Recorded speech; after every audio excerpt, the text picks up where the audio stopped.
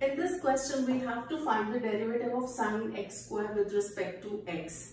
Now, derivative means the small change in value of this function with respect to some variable which is x in this case. To find its derivative, let's take sine x square as y. So y is equal to sine x square. Now we can differentiate both sides with respect to x. On differentiating both sides with respect to x, we get derivative of y as dy by dx and derivative of sine x is cos x but instead of x we have x square as the angle of sine. So according to chain rule we also need to take the derivative of x square. So its complete derivative will be derivative of sine x square along with derivative of x square.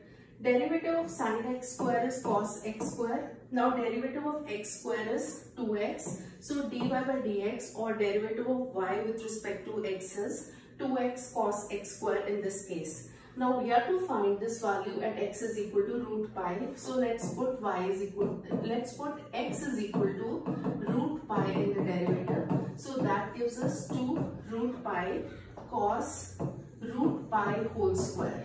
Now what is pi whole square. This is simply pi.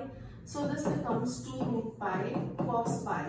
Now value of cos pi is, pi is 180 degree. Value of cos 180 degree is minus 1. So this becomes 2 root pi multiplied by minus 1. So final answer is negative 2 root pi.